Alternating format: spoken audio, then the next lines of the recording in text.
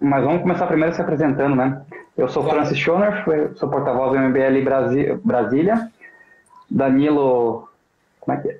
Caralho, esqueci o sobrenome. Geber? É, Geber. Geber. Danilo Você é assessor, do, assessor parlamentar, correto? Sou assessor, sou assessor do deputado Kim, lá na Câmara, é, assessor de comunicação. Nosso, nosso boliviano. a gente, eu acho que ele é mais vietnamita. Cada um tem uma opinião, né? Mas uma coisa que a gente pode ter certeza agora é que ele tá jogando Dota, né? É, com certeza agora tá jogando Dota. E, e como, como o Jean bem lembrou aí, é, o termo correto é memeiro, não. Nestor é memeiro. É, sou memeiro. Mas voltando a esse assunto da, da, da Câmara, não só, mas essas lives, assim, do, do governo em si, você viu o, o juiz que foi para um, uma sessão virtual sem camisa? Nossa, sério? Não, não cheguei a ver. Sério. Cara, Foi de algum tribunal regional. O cara apareceu na live num julgamento sem camiseta. Meu Deus. É, bem sem noção, né? Teve... Tem, tem que ter um uhum. limite aí. Teve um, teve um deputado aqui, distrital do Distrito Federal também, que apareceu bebendo na live, na, durante a sessão. Umas coisas assim. Eu não, não vi isso não, mas deve ter várias pérolas assim mesmo, porque Acho que a primeira, a primeira, que, eu, a primeira que eu vi foi do, do de um deputado federal que pegou o cachorro dele e colocou na live. É, quando ele foi falar, ele pegou o cachorro dele e, e pra, como se estivesse discursando com o cachorro no colo. É bizarro, né? Uhum. O pessoal age como se ninguém fosse ver, né? Essa é a questão. Eles estão acostumados que o povo fica tão longe, né? Não, né? Acho que esse do Fred Cosas, né? O deputado que fez esse negócio do cachorro, sabia que as pessoas iam ver.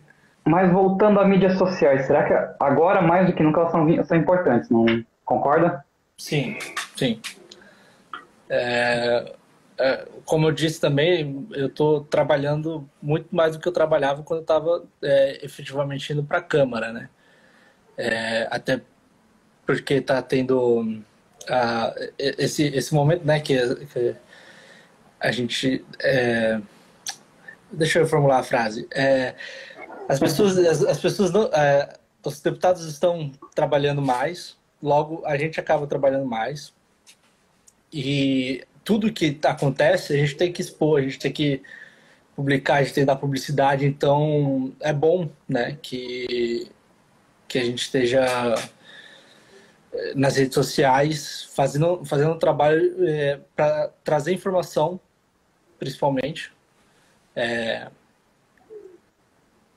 Basicamente isso, né? Trazer informação para pro, pro, a população, né? Sobre o que está acontecendo. Claro. Mas o que, que você acha, essa questão da, do trabalho remoto da Câmara? Será que não seria uma boa você tornar isso algo regular? Porque tem uma grande reclamação dos deputados é que eles ficam longe dos seus eleitores. Não seria legal, por exemplo, fazer três dias a semana remoto? Para os deputados conseguirem ficar na sua região? Eu acho que é besteira, porque primeiro que se o deputado está na sessão online, ele tem que estar na sessão online, não falando com os eleitores dele. Então, isso realmente não vai fazer tanta diferença. Eles já já já conseguem ir é, para suas bases e não, não acho que isso seja necessário, não. E é ruim também, porque você tira boa parte do, do diálogo que, que os deputados têm frente a frente, né? É, é muito mais é muito mais difícil tu você conseguir articular uma pauta, tentar convencer outro deputado pelo, pelo WhatsApp, né? Acho que é, é aquela é, questão então do o, o, corpo a corpo que ocorre fora do, da votação em si, né? Sim, né? tudo que acontece nos bastidores é, é ao vivo, né? A maior parte, Sim. pelo menos, é ao vivo. E agora está acontecendo por. É, agora essas coisas estão acontecendo por WhatsApp, mas não é. Assim, estão acontecendo por WhatsApp, mas é tudo pauta consensual, é pauta que, que todos os líderes dos partidos já falaram: não, essa aqui está ok, a gente pode votar, pode votar tranquilo, e todo mundo vota a favorável. A única, a única exceção foi o caso da MP, que foi aprovada nessa quarta-feira. Ou, é, acho que foi na quarta-feira. E porque não teve acordo, mas todos, todo o resto está tá tendo acordo. E isso não é comum, né? Na, lá na Câmara não é comum, tem que ter, tem, tem o diálogo, tem o diálogo entre, as, entre os participantes, é, entre os deputados, né? E isso é, isso é muito importante para a aprovação dos projetos. Mas voltando para a questão de campanha, como é que você acha que vai ser a questão da campanha municipal agora? Porque ela já começa prejudicada, né? Ela deveria começar agora no mês que vem já. É, e pelo verdade... jeito não vai, né? É, na verdade, agora começam as pré-campanhas, né? Todo mundo. Acho que esse mês agora todo mundo tem que estar com o partido certinho. É, mas. É, todo mundo tem que estar com partido, mas a, a campanha efetivamente só começa em agosto. A pré-campanha realmente está prejudicada, vai ter um, os, os vereadores, os prefeitos vão ter um trabalho muito, muito mais é, qual é a palavra? Cansativo. Vão ter, vão ter muito mais trabalho para conseguir voto no, num período de tempo menor, né? Isso, isso já é uma reclamação, acho que foi antes, foi em 2014, ou foi em 2014, se não me engano, de 2014 para 2016, que diminuíram os dias de campanha oficial, né? Acho que antes eram 60, agora são 45. É, isso já foi uma reclamação do, dos, dos candidatos que tinha menos tempo e agora, agora realmente vai, vai prejudicar eles, porque eles não vão ter nem o tempo da pré-campanha, né? Nem o período da, pré-campanha. O lobby também para adiar as eleições já está grande, né? É, desde, ano, desde o ano passado já tem um lobby bem grande para adiar a eleição. É, mas eu sinceramente acredito que é, é mais um, uma coisa da, dos, dos, vereadores e dos prefeitos que estão, no, que estão no poder agora quererem se manter. Porque muita coisa mudou no Brasil, a gente viu pelas eleições de 2018. E não deve ser diferente para as eleições de, 2000, é, as eleições de 2020, para prefeito e para vereador. É, o, eu acredito que o lobby é mais nesse sentido. Uma pergunta aqui da Lívia. Vocês não acham que pré-candidatos familiarizados com esse mundo virtual têm mais possibilidades de sucesso com suas campanhas no cenário atual? Não, com certeza. Ó, o... E isso já, já é uma tendência desde do, do, da última eleição também. Você vê o Kim. O Kim, a campanha dele praticamente foi toda rede social. É... E ganhou, foi o quarto deputado mais votado de São Paulo. O, o, o quarto deputado federal mais votado do Brasil, né? Porque se você contar a quantidade de votos. É, então, sim, isso já é mais fácil para quem já tem essa habilidade com rede social. O, o próprio Bolsonaro foi eleito com rede social, um movimento orgânico de rede social que, que elegeu ele. É, outro, o, o Mamãe Falei, outros deputados, é, esses deputados mais ideológicos, eles, eles têm uma base maior na internet. Eu, eu, eu acredito assim, pelo menos, porque eles não têm um, um, trabalho físico com o eleitor, né? Eles têm um, um trabalho midiático. E... Sim, você não acha que os, o pessoal, os deputados mais antigos que não têm essa presença online, não podem tentar de alguma maneira tentar barrar isso no futuro, no futuro próximo, inclusive, tentar limitar essa atuação online? Acho que já, já tentam, né? É, tem tem um, um movimento é, tem um movimento para diminuir esse alcance de rede social, é, mas muito difícil. Essa mudança vai ficar mesmo, muito difícil mesmo. Até porque isso barateia muito a campanha também de quem não é, é deputado. Por exemplo, um deputado estadual em São Paulo, é, que, que não tem um trabalho muito forte na internet ele fica no nicho dele. Fica ali no nicho dele. Quando ele faz um, um, um, um trabalho de internet, ele alcança nichos que não são dele. Então ele já tem um nicho, ele já tem os eleitores dele, então ele pode ganhar a mais com a internet. Então, para mim, não faz sentido diminuir, né? Não faz, não faz sentido nenhum diminuir o para os deputados o alcance desse trabalho deles. Me diz uma coisa que até o Bruno está perguntando aqui. Como é que foi a sua atuação na campanha do Kim em 2018? E você foi um dos principais membros da, da campanha dele, não foi? É, principal não. Eu.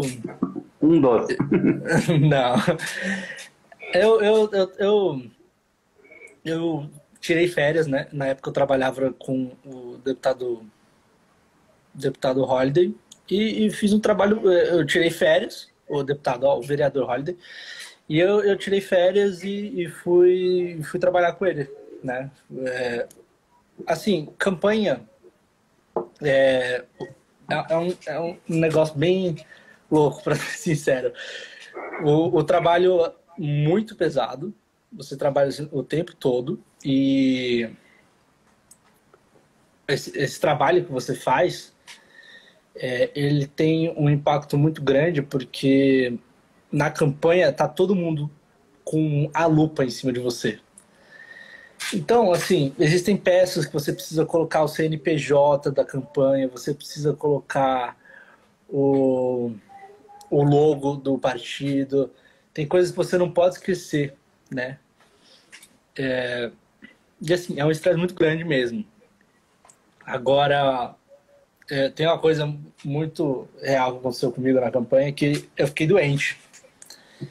E eu só consegui melhorar depois da campanha, porque ainda assim eu demorei muito para melhorar. Sinceramente, a campanha acabou em outubro, fui melhorar lá para dezembro, na sinusite.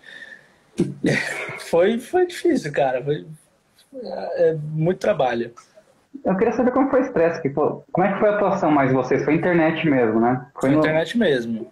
Eu, eu, eu ia pro, pro comitê e eu ia pro comitê e ficava lá fazendo algumas peças, é, algumas peças online e às vezes chegava alguma pessoa ou outra para buscar material de campanha, aí como eu já estava lá, já ajudava nisso também. Mas e, e teve muita viagem, né? O, o King, ele foi, o King e o Arthur eles foram votados no estado inteiro. É, o pessoal aqui de Brasília. Então não... eles, eles, eles chegaram a fazer corpo a corpo, então, né? Chegaram, chegaram. É, não foi só online, mas assim viramos madrugada também editando vídeo. É, eu, eu lembro eu lembro de uma, uma agenda que eles fizeram que foi para na região de Barretos, Rio Preto. É, até chegaram a encontrar o Bolsonaro lá na época, porque tava todo mundo fazendo campanha em Barretos, porque. Tem muito gado lá. Tem. não, é. Tava tendo rodeio, né? E eu, eu acredito que não, não, não deve ser um negócio muito é, compreensível para o pessoal aqui de Brasília, mas São Paulo é um estado grande para você sair da capital para chegar em Rio Preto, né, região de Rio Preto, Barreto, são seis horas de carro. É, e isso... Eu sei como é longe, eu já fui para Barreto dirigindo aqui de Brasília, é longe. É longe. é, e isso de. Agora, agora imagine isso para o estado inteiro. Como é que uma pessoa faz campanha no estado inteiro? Né? É, é caro. É caro, primeiro porque é, transporte, é, porque você não transporta só o, o, o, candidato, você transporta a equipe. O que eu estou querendo dizer é que ó, a rede social barateou o custo disso, porque agora o deputado que faz a campanha no estado inteiro não precisa mais estar no estado inteiro. O Kim, o, o Kim, o Arthur, eles tiveram voto no estado inteiro, não foi porque eles estavam passeando pelo estado inteiro, mas sim porque eles tiveram trabalho de rede social no estado inteiro, né? É, enfim, era esse, o, é esse meu raciocínio, é isso que eu estava querendo dizer. Mas voltando para o momento atual agora, a gente está entrando para a campanha agora, né? A gente aqui em Brasília não, porque somos abençoados que só precisa se preocupar disso em 4 e 4 anos, né? Um mundo à parte. O que talvez até acabe acontecendo com o resto do Brasil agora, que eles estão querendo postergar as eleições para juntar tudo, né? Uma coisa importante nisso do, de juntar as eleições. Dizem que é para diminuir o custo. Mas eu, particularmente, acho que, além de ser a, a falcatrua de querer se manter no poder, não vai, não vai diminuir realmente o custo. Porque você já paga. Nós já pagamos o, o, o nosso, o nosso imposto para pagar isso, né? para pagar o, o salário do, do, do, do, pessoal do, do TSE, do cartório eleitoral. Todos eles já recebem, querendo tendo eleição ou não. E, então, assim, o, só, só diminuir o custo da logística, não é um custo realmente relevante, porque o, o, o a gente sabe que o custo, o custo do, do serviço público está no, no, na, na, folha de salário, né? o custo real do, do, do, da, do serviço público está na folha de salário, é, e a gente não vai deixar de pagar o salário das pessoas por causa disso. É, faz sentido. É. Mas a questão mesmo grande seria o, é que as eleições meio que param o país, né? Essa é a questão, acho que maior. Como assim? Quando o período eleitoral, que não, se tem dois meses mais ou menos, meio que para tudo, né? Fica todo mundo aguardando ver o que vai acontecer. Tá, entendi. É, mas, mas... A, a, gente, a gente, a gente, na verdade, a gente sabe que é muito melhor que o Congresso não esteja fazendo é, que, que, o Congresso não esteja trabalhando e fazendo coisas erradas do que se ele tivesse é, do que se, se ele tivesse parado. Então, talvez não seja tão ruim assim ele estar tá parado dois meses. A gente, Sim, a, a gente viu, a gente viu agora semana passada o Congresso aprontando no meio de uma pandemia um, um, uma, uma situação que vai prejudicar economicamente o país. Então, às vezes é melhor que não faça nada, né? Trabalhando demais, às vezes faz coisa errada. Sim, faz sentido. O Thiago Duque, aqui do MBL BSB, acabou de perguntar, um, Dan, qual um meme memorável que você fez? memorável que eu fiz? Cara, eu lembro de um, um meme, ele não foi, não, não engajou, não, não teve, mas eu lembro dele porque ele ficou muito bonito, né? É um meme que eu, eu, eu na época, eu estava trabalhando no MBL na época. É, e, e, ele ficou muito bonito mesmo. E até hoje eu guardo ele na memória, que é um meme, assim, que era sobre, sabe, essa questão de liberar, liberar, é, qual é a palavra? É, liberar dinheiro, é, liberar capital estrangeiro para entrar no setor aéreo brasileiro. Foi aprovado agora, acho que foi ano passado isso. Foi ano passado. Eu trabalhei bastante para isso ser possível, porque eu sou entusiasta do setor aéreo. Sério? Nossa, demais. E era, eu lembro sobre isso lá em 2018, que eu fiz, achei que ficou muito bonito e, enfim, até hoje eu me lembro dele. Mas me diz uma coisa, como é, o que você está achando de Brasília? Já que essa semana agora a gente tem aniversário de Brasília, 60 anos. Como é que você se acostumou a morar aqui? Porque eu também não sou de Brasília, tô aqui há seis anos.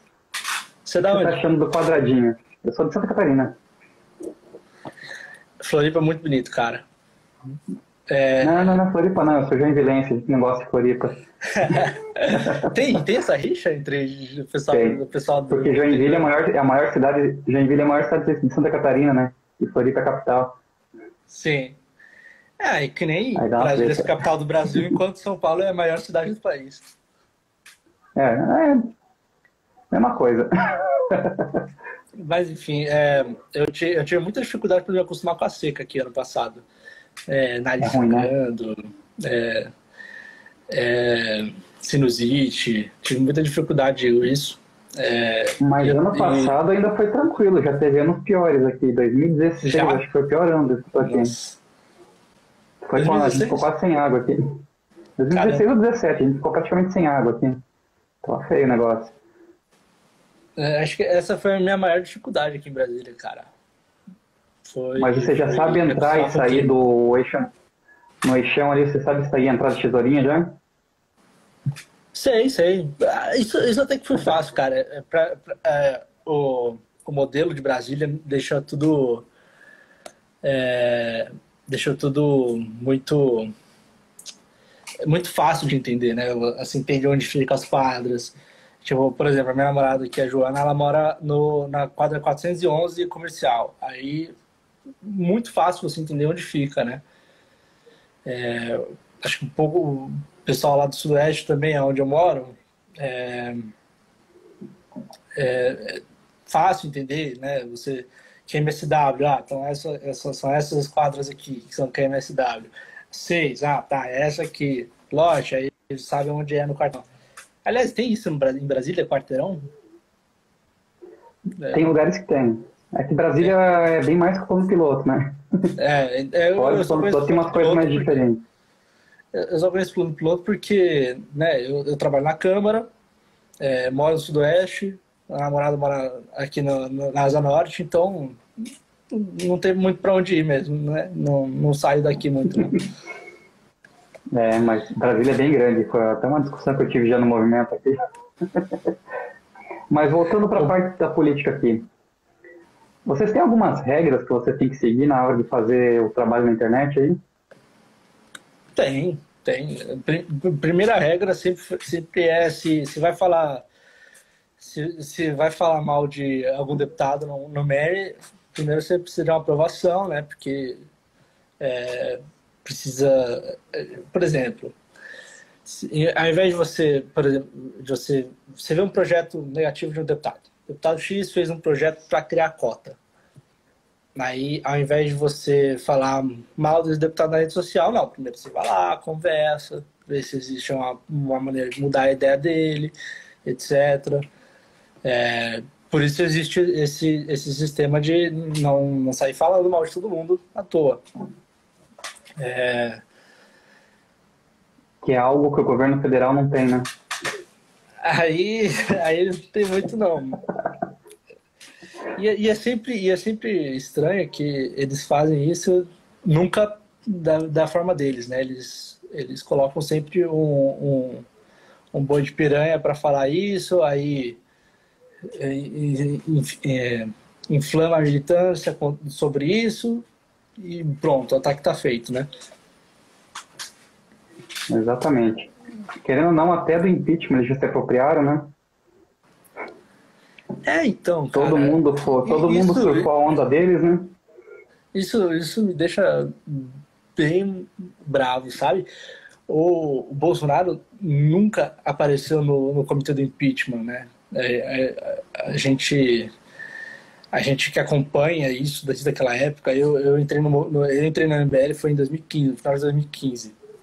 É, e a gente sabe que ele nunca participou efetivamente, nunca pediu um voto para um outro deputado para aprovar o impeachment. A gente sabe disso. A única coisa que ele fazia era brigar com mulher na, no, na, na Câmara. Era a única coisa que ele sabia fazer. Uhum. E aparecer e... quando estava imprensa. É, e aparecer quando estava imprensa, assim. Ele, ele efetivamente não fazia nada, cara. Sinceramente. Mas me diz uma coisa, você já teve que falar com algum, algum deputado antes de atacar ele para ver se tinha como convencer mesmo? Eu, particularmente, não. Quem, quem faz isso é, é o Kim mesmo, né? Ele vai diretamente, então. É, tipo, eu vejo uma coisa e falo, ó, Kim, isso aqui, é, isso aqui e tal. Aí ele vai lá, fala, conversa, vê se faz, vê se não faz. Entendeu? E algum, algum deputado já foi no gabinete tentar descobrir quem ofendeu ele, alguma coisa, quem foi o memeiro que falou alguma coisa? Não, não. É, teve, um, teve uma vez que o, o, Hélio, o Hélio Negão, né? Ele apareceu lá no gabinete querendo falar com o Kim. É, foi, numa época, foi na época do dia 26 de maio do ano passado, né? Na, naquela briga. É, ele apareceu lá querendo conversar com o Kim sobre. Ah, não, aliás, não foi, não foi nisso, não. Foi quando aprovaram aquela, aquela lei do, das fake news, que batizaram de lei Kim. Porque é, ele foi na internet e falou: ah, é tal coisa. É, ele não, provavelmente o, o, assessor de comunicação dele. É, falou, foi lá e falou, falou ah, tal, coisa. Aí o Kim liga pro cara, fala, ah, é, não é isso, explica direitinho, vai lá, conversa. Aí ele re, re, é, se retificou, né? É, é, se, se retificou o que ele tinha falado, que o Kim estava querendo é, prender todo mundo que estava que tava fazendo fake news na internet. E ele se retificou e, e foi isso. Aí depois ele foi lá na, na, na no gabinete procurando o Kim. Mas, é, e ele, ele é um cara bem simpático, cara. Ele conversou bastante com a gente. Mas. Ele parece tem... ser simpático mesmo. E esse é. esse é um projeto de lei que até hoje a mídia não entendeu, né? Até hoje a mídia continua achando que é censura. A mídia não. A mídia entendeu. Quem não entendeu foi o é, a, que não foi quer aquela, entender, né? Foi aquela mídia, né? o pessoal que não quer entender não, não vai entender. Assim, é, é o, inclusive, é, acho que eu, eu tava, tava, tava no Twitter um dia desses e é basicamente isso. Você vai lá, mostra tudo, mostra todos os dados para a pessoa. É, acho que era, essa questão de estar tá mudando a, o pico da, da pandemia, sabe? Acho que você, você, o pessoal que acompanha aí, sabe que nos últimos, nos últimos dias, o, o, o semana passada o Mandetta falou que mudou o pico e as pessoas não entendem por que, que mudou o pico. É, porque, é, e aí Assim, você chegou a ver aquele gráfico? Que é uma onda eu tenho, eu tenho, assim, a outra... Exato, eu tenho, eu, é o desenho para explicar para o gado. Isso, mas nem isso eles entendem. Porque, ó, se você, você vê, ó, aqui, esse, esse eixo aqui é o número de casos. Esse eixo de baixo é o tempo. Essa onda aqui quer dizer que teve muitos casos em pouco tempo, aquela onda maior, né? E essa onda aqui quer dizer que teve muitos casos Aliás, é, teve muitos casos em, é, teve poucos casos em muito tempo, né? Então isso que é o achatar a curva. Quando Exato, a, você quando vai adiando o pico. Isso, quando o pico vai para frente, quer dizer que a, a onda está fazendo isso, e não isso. É, é, algo bem simples de entender, na verdade, né? Mas Sim. não querem entender não, e não querem só para manter narrativa, né? Sempre, sempre. Eu, literalmente, eu tenho um desenho que eu desenhei para explicar isso. é, então. Mas, é, mas me diz uma... É difícil.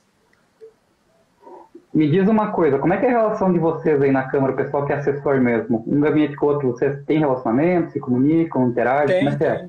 Ou é, é cada um na sua? Porque eu já, eu já trabalhei em órgão do governo que era cada grupo, cada equipe era, era separada, mas basicamente, o pessoal interagia. Cara, eu vou te ser bem sincero, eu, eu não sou não sou um dos mais sociáveis, né? Não sou uma das pessoas mais sociáveis do mundo. E como o meu trabalho é sempre no computador, é difícil eu sair do gabinete. É, então, logo, é difícil eu encontrar outras pessoas. Mas sim, o pessoal do gabinete mesmo tem, tem contato bastante com o pessoal do novo. É, é, o, o, o, nosso gabinete é, é, tem bastante contato com pessoas, principalmente do, do Poit, do Marcel. É, o Luxo, ele teve aqui, acho que foi tem uns três dias atrás, antes do Pedrosa, né? Ele tem bastante contato com o pessoal que, que, é, que é da polícia, né? Os deputados que, que fazem parte da polícia. É, e, os, e, logicamente, os assessores deles. É, então, sim, tem, tem. Não, não é difícil ter esse contato, não. No meu caso é difícil porque eu, eu não saio muito. É, deixa eu responder aqui a Lívia. É, basicamente é o seguinte: quando você faz meme para internet, você tem que ficar recluso. É, é, quase. A gente tem. Não sei se vocês conhecem o riso, mas existe uma, uma piada interna do MBL que para ser meme tem que ser meio autista.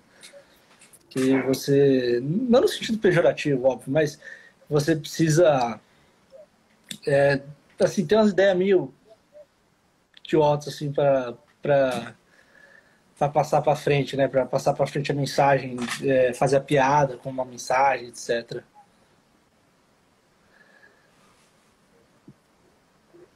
E FD é Inese perguntou: tem deputados que vocês procuraram para o diálogo que não recebeu vocês? Procurando para diálogo. Então, cara, eu, eu não sei muito isso, né? Porque eu. Quem, quem, faz esse tipo de coisa, quem entra em contato com outros deputados é o Kim mesmo. É, eu não sei de uhum. nenhum caso disso, não. É que até porque é, a equipe de vocês é bem enxuta, né? É, então. E, mas assim, o Kim consegue conversar com o pessoal do novo e com o pessoal do pessoal. É, tem, tem, até aquela famosa Ironicamente. Freixo Tem até aquela famosa foto com o Freixo que atacaram ele pra caramba por causa disso. E, assim, a gente sabe que não é nada, né? Que ele só tava conversando como, como é o papel do deputado. É, é o trabalho principal do deputado é conversar, né? É, então. É, é, o diálogo é o, é o principal projeto, é o principal trabalho do deputado. Então, sem isso não faz sentido. Uhum. Teria algum outro gabinete de algum deputado que você acha que tem um trabalho bom de comunicação, tem um puta trabalho de comunicação mesmo na internet? Desculpa, não entendi, falha um pouco aqui. Algum, você tem algum outro gabinete de deputado que você acha que tem um trabalho muito bom na internet, tem um trabalho de destaque mesmo? Um trabalho nível deputado Kim Kataguiri? É, nível meme, meme mesmo. Vamos atacar a internet. Cara, existem, existem deputados que fazem, né, mas, assim, ou o nível é muito baixo ou, ou não consegue. É, é que é, é, muito complexo você falar isso, porque cada, os deputados têm seu, seu, seu próprio público, né? Por exemplo, Sim. a deputada Bia Kicis aqui de Brasília, ela tem o público dela, mas assim, ela usa um humor muito baixo, né? Esses dias ela ela publicou no, no, no, acho que no Instagram dela, em uma rede social, é, um meme sobre o, o, o, o órgão genital do Dória, né? Assim, é, é engraçado até, mas completamente desnecessário, ainda mais para uma deputada. Né? Sim, acho que até faltaram alguma coisa hoje em relação também ao Nando Moura, se não me engano, faltou alguma coisa também bem é, tem que ter, tem que ter essa decoro, né? Tem Sim. que ter essa decoro, mas ela fala com o público dela. Infelizmente, esse público é que eu, gosta disso. Eu conheço, eu conheço alguns assessores que estão vivem fazendo curso para se especializar em mídias sociais e campanha, marketing político para internet e tal, mas eles não vivem internet. O cara não usa a internet. Ele quer fazer campanha na internet sem usar a internet. É meio difícil, né? O que eu, o que eu acho que é essencial pro, pro memeiro é o. Além de conhecer, conhecer o assunto, é conhecer o público. Então, se você, se você entra nesse. Se você consegue atingir esses dois, esses dois pontos na, na, na carreira, você entender o seu público e, e entender o que, do que você fala, é, você, você consegue transmitir aquilo muito fácil por exemplo, é, na reforma da Previdência, a gente não simplesmente ia lá e fazia meme, a gente, a gente teve que estudar. Eu, eu, eu, li o livro do, do, do Pedro Nery sobre a reforma da Previdência, eu recebi cartilhas do, do, do, Ministério da Economia sobre a reforma da Previdência. Tudo, tudo isso era estudado para a gente poder fazer o meme. Não é simplesmente ir lá e, e falar, ah, o, o órgão fálico do, do Dória. Não, era, não é só isso, né? Tem, você, você precisa não é entender Não é atacar o adversário, né? É, é atacar o adversário é muito fácil, né? É muito fácil ir lá fazer um, um, um meme contra uma pessoa. Isso é fácil. É, até, até teve um Agora, presidente que se elegeu assim, né? Até teve um presidente que se elegeu assim. Mas é, você entender o assunto, você é, sintetizar a mensagem e conseguir passar de uma forma é, eficaz pro, pro, pro, pro, pro seu público, é isso que faz a diferença pro memeiro. Porque, é, porque você tem que transmitir de, de maneira. Basicamente, você tem que transmitir de maneira muito eficaz. A internet é, é um negócio muito rápido. Você está lá no Facebook, é, você está no Twitter, no Instagram, ninguém para para ler. Então você tem que simplificar a mensagem é, e, e, passar isso adiante. E hoje, quais seriam os focos? Ainda continua sendo o Facebook ou é mais Instagram e WhatsApp hoje? O Twitter em si, o Twitter você fala para jornalista, né? O, povo em si não está no Twitter, né? Tem muita gente no Twitter, sim. É, mas eu, eu, larguei, eu larguei o Twitter, eu, me, eu cometi suicídio no Twitter há alguns anos já, porque. Fez bem, cara, aquele lugar é. Exatamente. É, é terrível. Mas vamos lá.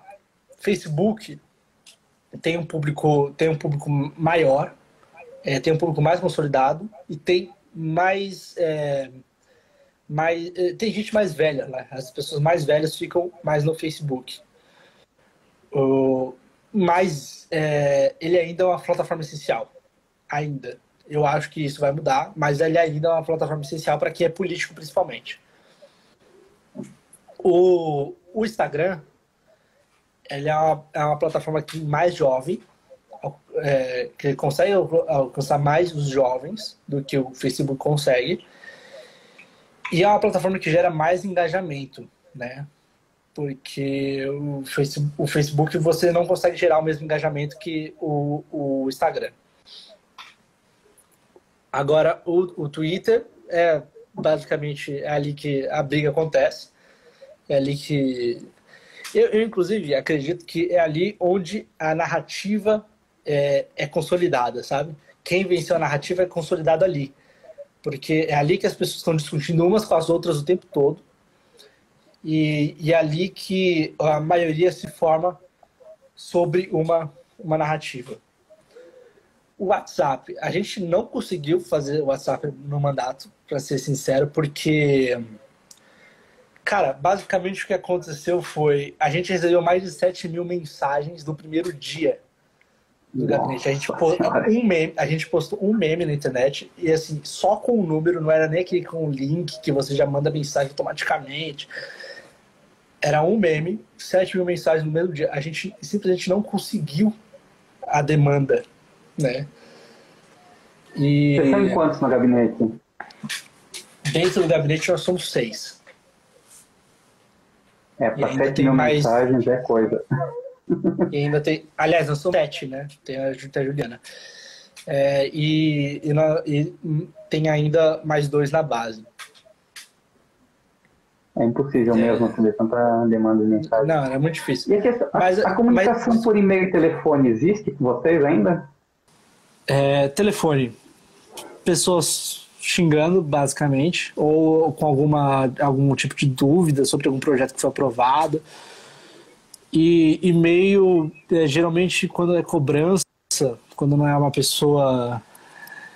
Quando não é uma pessoa querendo é, uma entrevista, uma, uma reunião, é mais, é, é, é, mais alguma cobrança mesmo, né? Agora, a plataforma que a gente tem mais sucesso é de longe o YouTube. É, o público lá. É, o público lá é, é, um público é, cativo, né? Um público que gosta né, de, da, da, pessoa que, tá, que, tá, que, ela, que, ela, que ele acompanha. Então, ele está sempre lá, né? É um público que se engaja com, com, com seus... Com, com a pessoa que segue, né? É, que, engaja, que, que engaja... É, que engaja positivamente Engraçado, porque muita gente acha que o YouTube, muita gente acha que o YouTube meio que morreu já, né? Não é relevante, mas, mas, mas eu também vejo o YouTube muito forte. A discussão no YouTube também é muito grande. Ele tá meio que assumindo o papel do Twitter hoje. De criar narrativa. O... o Twitter, o YouTube é muito forte porque primeiro de tudo ele ainda ele ainda é ele ainda é a principal plataforma que você consegue monetizar. O, o Facebook já consegue monetizar, mas o YouTube ainda é muito maior nesse sentido. Por isso o, o Facebook acabou com o alcance também, então, né? É, também tem isso. O, o, o YouTube, ele, ele, você monetiza e você já tem um público, você é, e tudo isso faz com que a plataforma seja a principal, é, a principal ferramenta dos criadores de conteúdo. Agora, pro, agora pro, o Facebook já não tem isso, né? Ele, ele ainda não é a principal plataforma dos criadores de conteúdo. Eu, eu me auto-incumbi a missão do Gabinete do Kim de é, pesquisar, entender o, o que, que vai ser o Brasil é, e, e tentar, prever, é, tentar prever o que vai vir de legislação para o Brasil de inteligência artificial e automação do trabalho, né? Hum. É, não sei o quão ligado a esse tema você é, mas é, eu, eu tenho eu tenho, eu tenho pesquisado sobre isso e sinceramente me parece que vai, vai acabar o trabalho que nós vamos ter que ver com, como disse Yuval Harari no, uhum. no numa, numa assim, basicamente simplificando, você sabe quem é Yuval Harari? Ele, não, não sei, mas eu acho que eu conheço é, o conceito que ele, que ele trata. Ele, ele é autor do Homo Deus, Sapiens, é, 21 lições para o século XXI. E basicamente o que ele diz é que o, o mundo vai ser, vai ser sustentado é, por bolsas dadas por grandes empresas. Basicamente a gente vai viver com uma bolsa que o Google vai dar para gente. Eu, é eu sinceramente acho que é um cenário bem possível, né? Eu, eu não consigo ver mais com, com bons olhos o, o futuro do o futuro do que do o futuro do trabalho, né? Do, do labor. A tendência é vários empregos deixarem de existir, como já deixaram, né? Por exemplo, o assessorista de elevador, ninguém mais praticamente não existe mais hoje, é uma profissão que morreu praticamente. Na Câmara tem. Na Câmara tem, isso que eu ia falar. Mas é uma profissão tecnicamente morta. A tendência é que você vai eliminar alguma profissão e vai surgir outra no lugar. É, mas se você for ver hoje, a IA não está ainda aprendendo completamente sozinha. A gente ainda não chegou nesse ponto. Não, As pessoas não, anunciam tá. como se tivesse chegado, mas não chegou ainda. É, e qualquer tendência, a gente tem dois cenários, né? A gente tem dois cenários para quando o emprego deixar de, de ser necessário.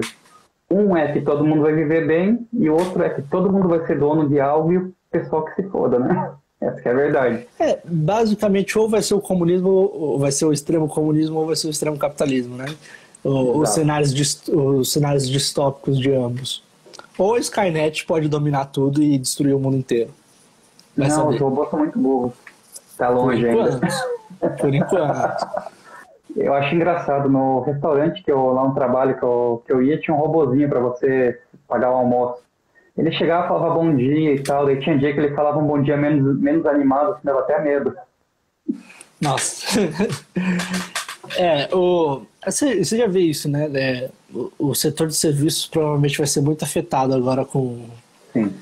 com, com, esse, com o coronavírus. Eu acredito que o, os, os setores né, vão começar a automatizar é, mais ainda vão acelerar o processo gente, de automação. Eu acho que a gente vai passar por agora algo que parecido com o que aconteceu em 2001, após os atentados lá. A gente vai começar a viver num mundo diferente. Muita coisa vai mudar. É, aí, se você for ver até, até 2001, por exemplo, o mundo era livre. Qualquer um ia para outro país, não tinha fiscalização nenhuma, ficou tudo largado. Depois mudou muita coisa. Uhum. Eu acho que a gente vai começar a ver uma coisa, coisas diferentes agora. Tem aquela história da janela de Overton, não sei se você já ouviu falar dessa teoria. É, basicamente, o, o, exemplo que ele dá para a janela, como funciona a janela de Overton é praticamente o seguinte: a janela está aqui, né? Aqui é mais liberdade, aqui é mais segurança. É, antigamente as pessoas fumavam dentro dos aviões, né? Sim. Isso era bem comum, existia áreas de fumante, áreas de não fumante dentro do avião mas percebeu-se que isso atrapalhava não só os pilotos, como as outras pessoas, isso era maléfico de alguma forma. Quando se percebe isso, a janela de, mover, de Overton se mexe, né? ela, ela se move mais para perto da segurança. É, isso, óbvio, não é só segurança e liberdade, existem outros conceitos, é, outras coisas que podem se mover né, de um lado para o outro. E, e quando teve o atentado de 11 de setembro, a janela de Overton se moveu muito para o lado da segurança porque é, é, se fez necessário. E, e aí tem o, o, pessoal que fala que é teoria da conspiração, o 11 de setembro, e isso é só mais uma forma de controlar as pessoas. Eu, sinceramente, não sei. Não, é, não acredito que tenha sido, mas esse foi ia ser bem louco. É, e aí a gente vê isso agora lá em São Paulo com o controle dos é, controle dos celulares, né? É, o, o, governo começa a ter o controle dos celulares. É, você, e, e, isso não é muito incomum, não. Além da China fazer isso, um país muito capitalista também fez isso. O, a Coreia do Sul fez isso, cara. É, e foi um dos motivos que eles conseguiram e, fez, e foi um dos motivos que eles conseguiram combater muito bem o coronavírus lá. É, porque eles tinham controle de quem estava quem tava com o coronavírus. É, eles usaram basicamente o mesmo sistema que, que, os, que os chineses usaram, né, do vermelho, é, vermelho, amarelo e verde. Eu não sei se você chegou a ver isso, mas é, quando uma pessoa era diagnosticada positiva para o coronavírus, ela lá no, na China eles têm o WeChat, que é o principal aplicativo deles, de, para fazer tudo, conversar, é, enfim, fazer tudo. E, e aí nesse aplicativo eles ficavam marcados como vermelho, verde e amarelo. E o vermelho é, era quem era quem estava com coronavírus, o verde quem não estava e o amarelo suspeito. E aí eles conseguiam tra é, traquear, saber onde, onde cada uma dessas pessoas estava. E aí a Coreia do Sul também fez isso, mas eles não tinham o WeChat né? Tinham esse aplicativo é, que dominava o mercado inteiro de, de, aplicativos da Coreia do Sul. Então, eles fizeram outro aplicativo para falar é, que, que segurava esse assunto é, se, sobre o coronavírus, né? E obrigou todo mundo a usar. É, e dessa forma eles controlaram onde as pessoas estavam, quem estava, quem não estava com coronavírus. Sim, é interessante esses dados. A questão aqui no Brasil é que o povo também entendeu um pouco mal essa questão de usar os dados de rede celular, por exemplo. É uma coisa que é anônima, querendo ou não. Só que o, o Brasil nunca, nunca sequer atingiu 70%, então também é desnecessário. A gente fingiu que fez, fez um lockdown e não fez. Essa é a verdade. É, é, isso é verdade. É, mas essa, essa questão do, dos aplicativos, é, do do Dória tá fazendo isso lá em São Paulo, né? Eu acredito que outros, outros estados também vão seguir o mesmo exemplo. A gente não vê isso como perigoso agora, porque é para cuidar da pandemia, mas daqui a pouco, né? É, é isso que, que a gente tem que pensar, e é, é isso que a gente tem que preocupar. Até onde a gente vai ceder da nossa liberdade para ter mais segurança, para evitar uma pandemia. Uhum. Mas isso eu acho que vai ter que ficar um assunto para outra hora, porque a gente está chegando no final da live aqui, tá dando uma hora já, vai cortar. Poxa, Foi já? Um... É verdade. Né? Já, já passou rápido, né? Foi um prazer enorme falar com você, espero que a gente possa conversar prazer novamente. Prazer foi meu. Prazer foi meu, cara. E estamos aí. Pessoal, sigam o MBL BSB aqui no Instagram, lá no YouTube também, que a gente está começando a postar um conteúdo lá agora, tem novidades por lá. E tenha uma boa noite. Obrigado, Danilo. Boa noite e obrigado, obrigado eu. Valeu, tchau.